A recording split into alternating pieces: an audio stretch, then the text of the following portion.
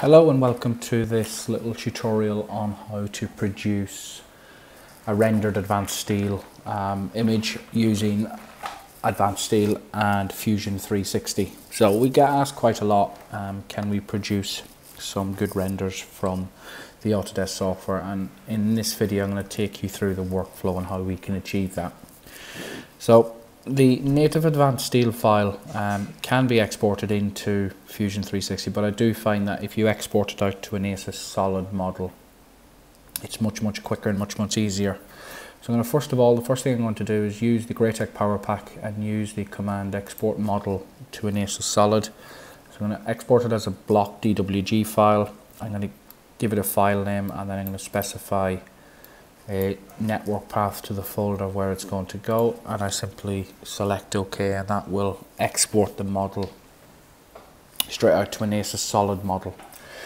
So with that complete I go back to my desktop and I'm going to launch Fusion 360 so we can get a look at the system and import their exported drawing.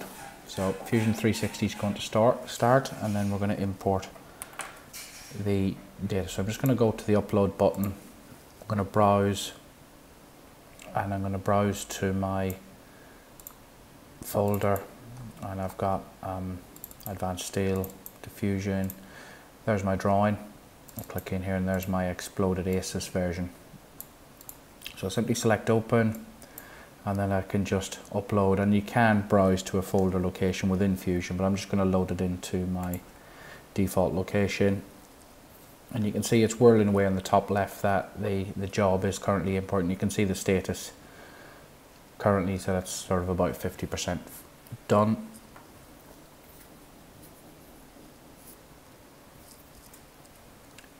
So I'm doing everything live, um, not sort of hiding any of the time scales. So that is slowly doing it. I can click close and you can see up here that it still will give you the, the status of the, you can still see that it is the is still working away and then it says upload finished I can simply right click and click the open.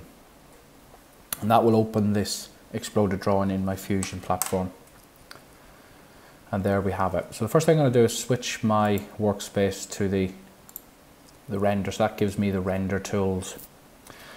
And then also go to the scene settings just go to that and instead of a solid background I'm going to change it to a, a blank white I'm going to take off the ground plane so select OK to that, changes to a white background, then we switch off and then you with most you can control everything through the view cube. So this is sort of what I've got. You can see that everything is exported exactly as I would want. And it's a full 3D solid of everything that's in Advance Steel. So the next thing I tend to do is go into setup, look at the appearance of the object.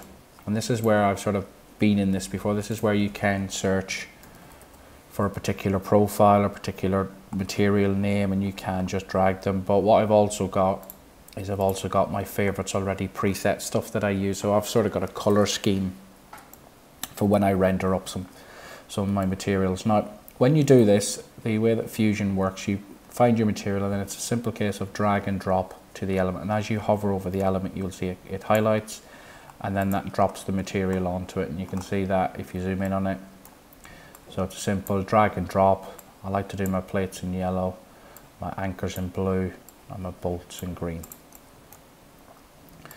So I've sort of got my plates go yellow, but you can go and apply any type of material. Again, just depends on how you really want to do it. Most people sort of find a, a preset standard that they go with, but again, I'm just going to go back to my favorites. You can do that. You can multiple select objects as well using the Windows control buttons and then I can drag as a group.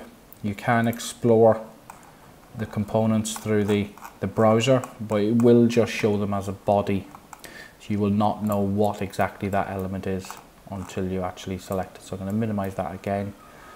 I'm just going to select my major components of my my stairs and then I simply drag it to that. So it's a very simple case just to drag and a drop to place it on the material. we zoom in, I'm just going to put that on that one.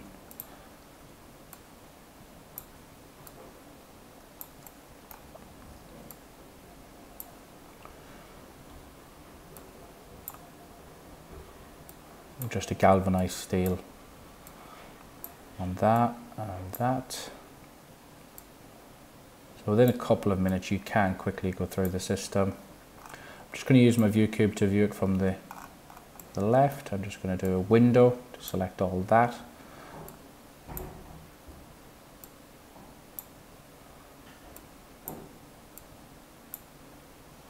And just another quick window through there and again that's all going to be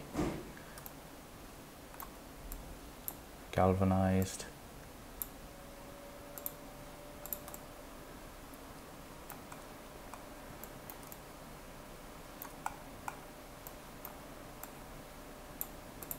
So you can see very quickly I've been able to go in, just apply a material like that. I'm just going to minimize down the material. And it's really rather simple within the system. You find the view that you want. So I'm going to say I want something like that.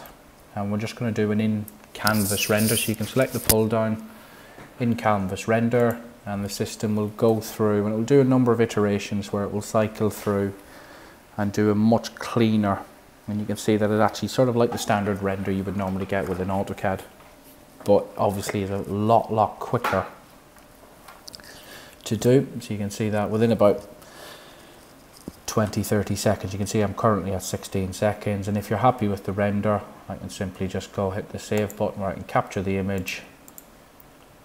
Select OK. And I can say JH1 save it as a PNG type. Click save.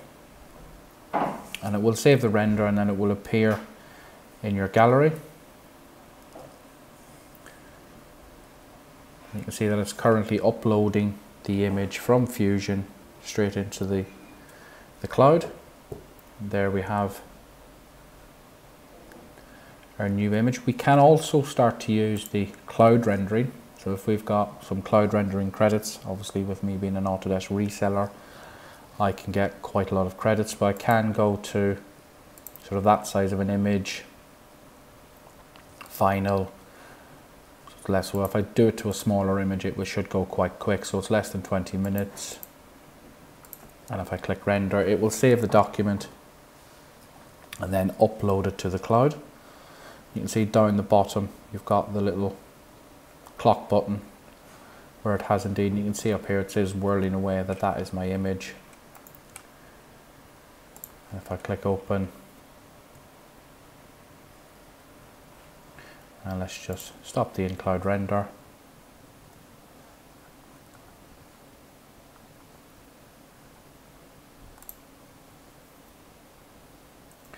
You can see that when you click it it says it's currently rendering render queue time less than 20 minutes but that again is for a cloud render.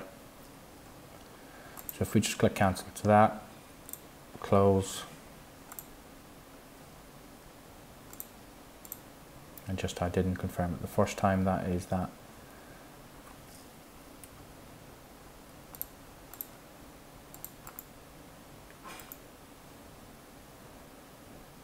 And just let me refresh the the image and you'd see that the one I when the in canvas render now available. Double click it and that will open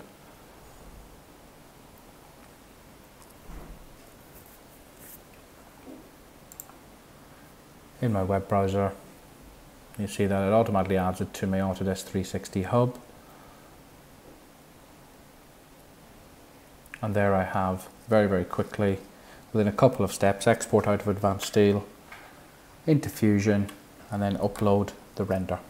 So I hope that's been helpful. Just a little workflow that I've developed for producing some better images using Advance Steel and Fusion 360